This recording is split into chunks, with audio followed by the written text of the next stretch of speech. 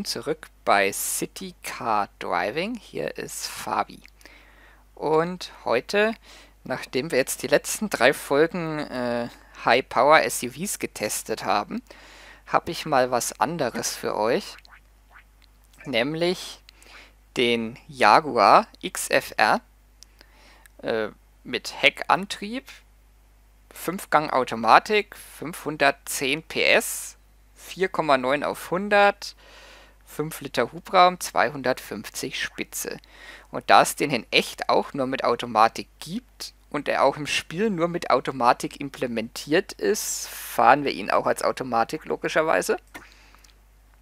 So, Wetter ist alles wieder in Ordnung. Und wir sehen uns gleich wieder auf dem Parkplatz. So, das sind wir schon mit dem Jaguar XFR. Ja, 3D-Modell ist wieder top. Sieht gut aus.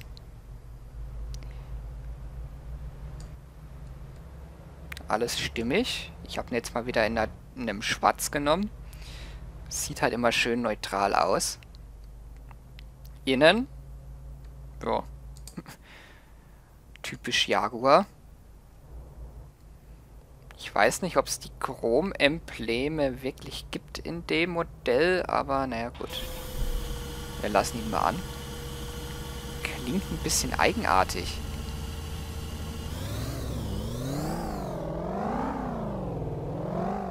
Also für einen V8 klingt es ein bisschen komisch. Naja gut. Wir schnallen uns auf jeden Fall an. Wir lösen die Handbremse. Und dann fahren wir mal rückwärts hier raus.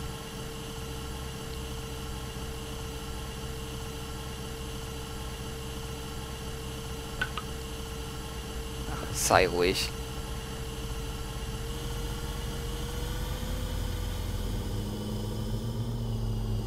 Gucken wir mal, wie er sich so fährt.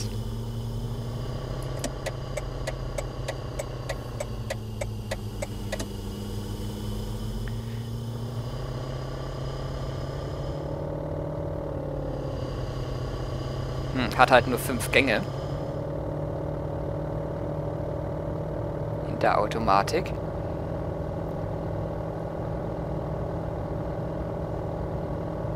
Aber es geht.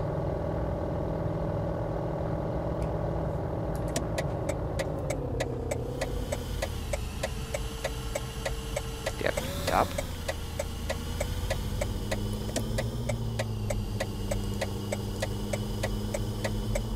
So, das war jetzt mal ein bisschen typisch englisch. Oh, Fußgänger.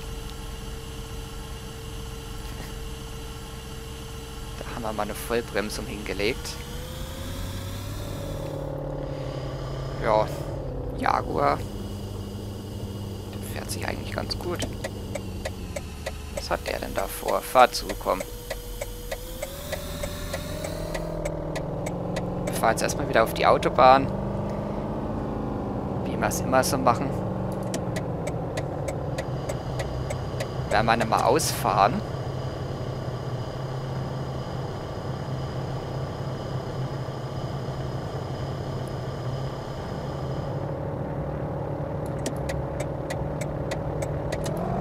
So, jetzt drehe ich mal wieder drauf.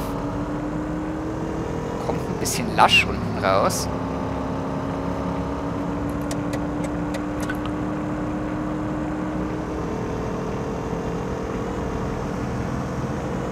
Man merkt den Heckantrieb.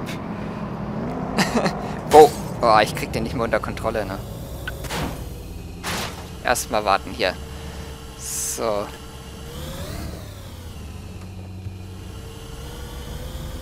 Da muss man mit dem Jaguar höllisch aufpassen, wegen dem Heckantrieb. Er schiebt schon wieder über die Vorderachse.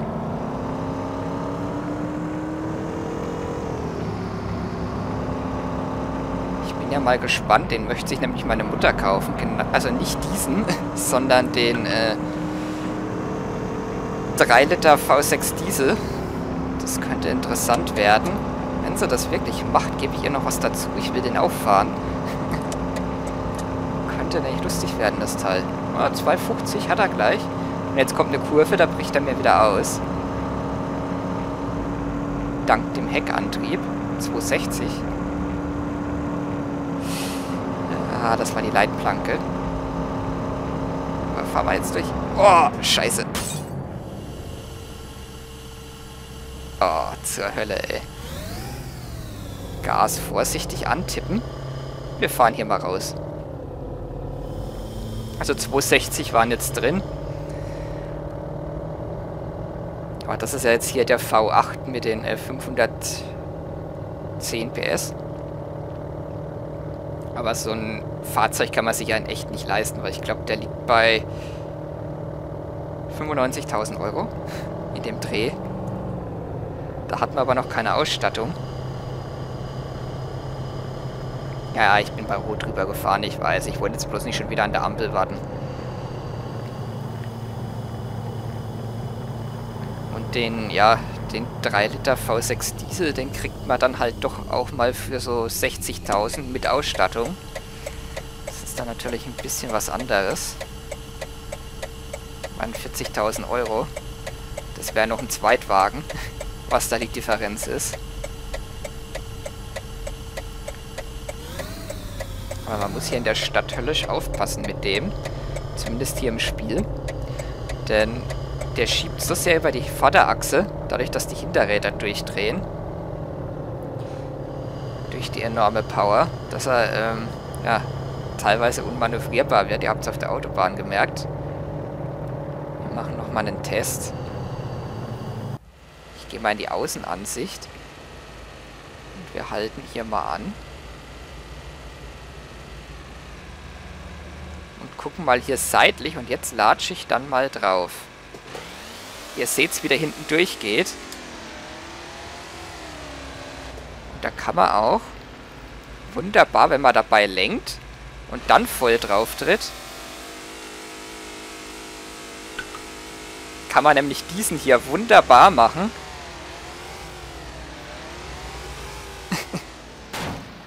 wenn da nicht so eine blöde Laterne im Weg wäre.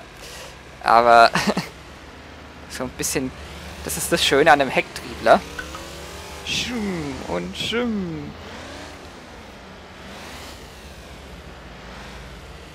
Wir versuchen es jetzt mal ein bisschen sportlich hier durch die Stadt.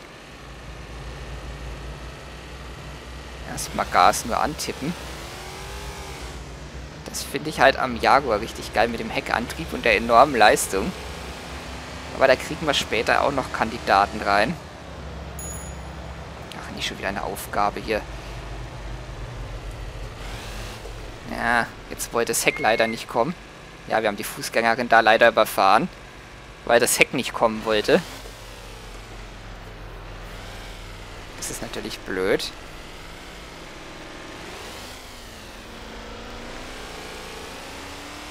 Wir fahren jetzt hier mal einen heißen Reifen in der Stadt. Nee, also irgendwie kommt das Heck nicht bei der Kiste. Wenn es soll. Nur wenn es nicht soll immer.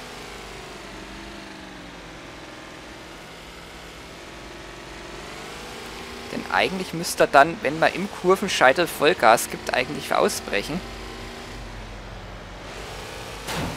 Und diese blöden Lampen, die geben mir auch noch den Rest hier.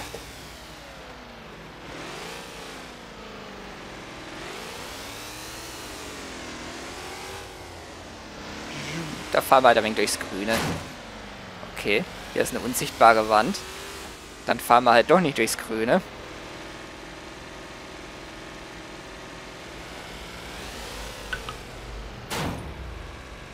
Immerhin gibt es ein Schadensmodell.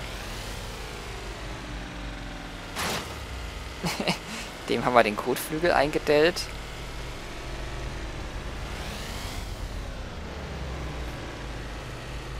So, wieder gerade ziehen. Uah.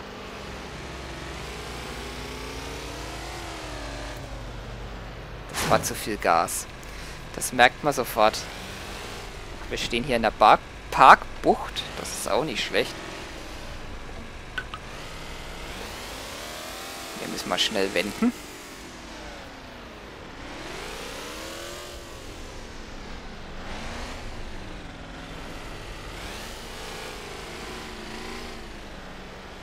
Der ist halt am laufenden Band nur noch am Durchdrehen.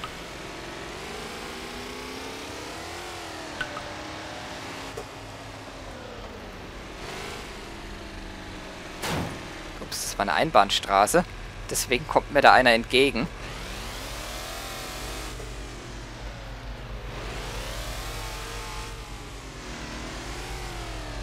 Aber es ist halt schwierig mit dem Heckantrieb von der Kiste.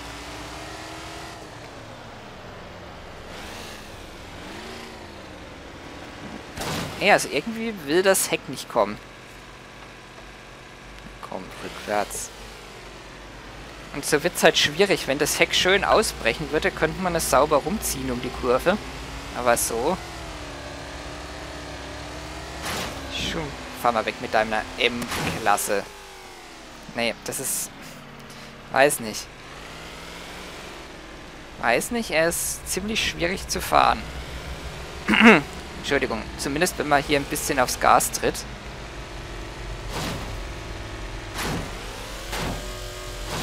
Jetzt müsste man es ja schön sehen. Ja, er dreht nur hinten durch. Und das ist halt das Problem, mit dem ich jetzt die ganze Zeit kämpfe hier. Der Heckantrieb.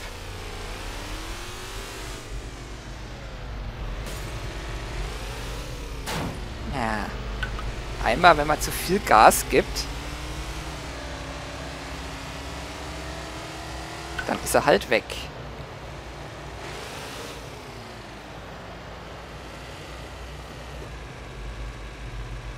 Ah.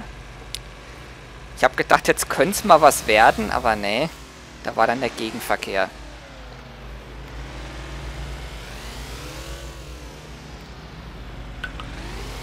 Naja, gut.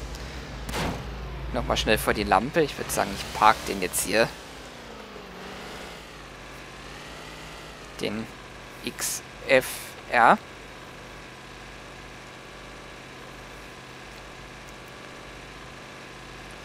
Und dann beende ich diesen Part. Also er ist halt leider schwer zu fahren.